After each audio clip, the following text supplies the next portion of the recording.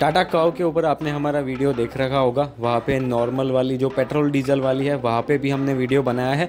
टाटा कव सी के वीडियो के अंदर आपका स्वागत है। यहाँ पे टाटा कव सी के साथ में क्या चीज़ें होगी, उसके बारे में डिटेल में इन्फॉर्मेशन मिलेगी। प्रीवियस वीडियो के कंपैरिजन में जो चेंजेस आए हैं रिपोर्ट के अंदर, वो भी देखने को मिलेंगे। तो वीडियो में एंड तक बने रहिएगा और बहुत ही जल्दी कव ई के ऊपर भी वीडियो बनने जा रहा है। तो ये वीडियो को एंड तक देखो, let's get started.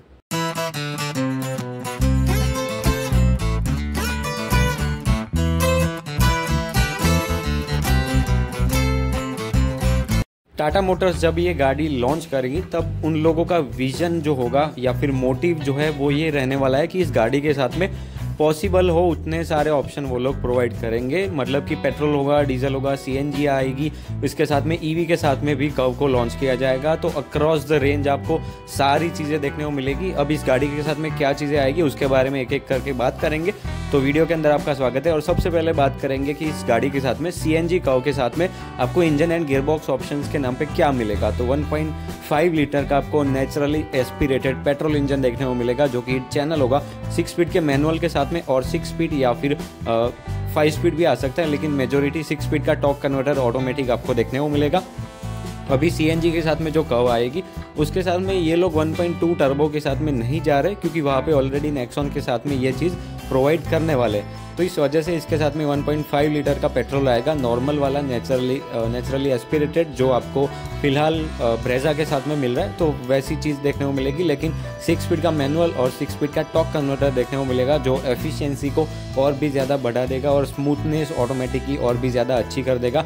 हालाँकि अभी तक कोई सोर्सेस नहीं है कि ये पेट्रोल इंजन लाएँगे कहाँ से, क्योंकि प्रोडक्शन तो अभी ये लोग इसका कर नहीं रहे, लेकिन देखते हैं अभी किसी से सोर्स करते हैं या फिर खुद का प्रोडक्ट करते हैं तो ये चीज़ है। बाकी गाड़ी की लॉन्च और प्राइस की बात करें तो डिले हो चुकी है। December 2024 with the price tag of almost you can expect 10 to 14 lakhs ex showroom वेरेस बात करें इसके पेट्रोल और डीजल वाले अवतार की नॉर्मल वाले, जो सीएनजी विदाउट सीएनजी होगी, उसकी बात करें तो वो नवंबर के अराउंड लॉन्च होने वाली है, लेकिन इसका लॉन्च जो है वो दिसंबर के एंड तक जा चुका है। तो बेसिकली आप एक्सपेक्ट कर सकते हो कि जब टाटा कर्व लॉन्च होगी, उसके कुछ ही दिनों बाद या फिर कुछ एक महीने के बाद आपको कव सी की एडवर्टाइजमेंट देखने को मिल जाए और उसके बाद बुकिंग्स वगैरह स्टार्ट होंगे। तो ये चीज़ है टाटा कव ईवी भी आने वाली है। उसके ऊपर हमारी आरएनडी चालू है।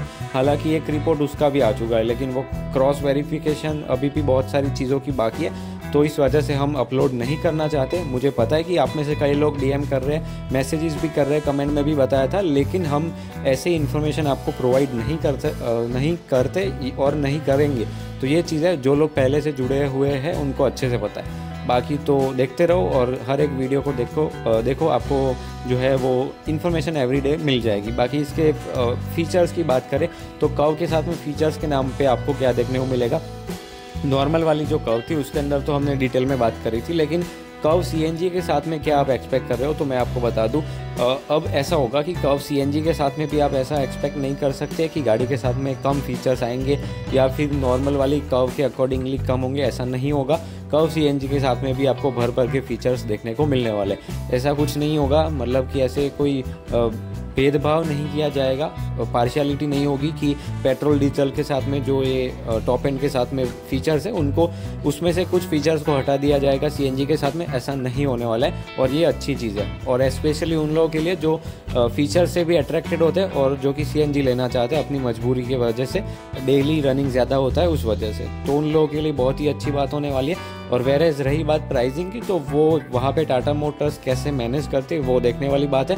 क्योंकि हैरियर जब फेस लिफ्ट के साथ में आई थी, तब तो लोगों ने बोला था कि ये ओवर प्राइज जा चुकी है। लेकिन फिर स्कॉर्पियो एन वगैरह के साथ में उन सबको देखने के बाद लोगों को लगा कि हाँ इतनी प्राइस तो ठीक है, लेकिन ये आने वाली है क्रेटा के सेगमेंट के साथ में। मतलब कूपे वाला सेगमेंट होगा, लेकिन बीट करेगी क्रेटा को या नहीं कमेंट डाउन करके ज़रूर बताओ। बाकी वीडियो पसंद आया तो लाइक शेयर सब्सक्राइब करके ऑटो एंथुजाज फैमिली के साथ ज्वाइन हो जाओ। बाकी मिलते हैं आपसे अगले वीडियो में। Till then goodbye and drive safe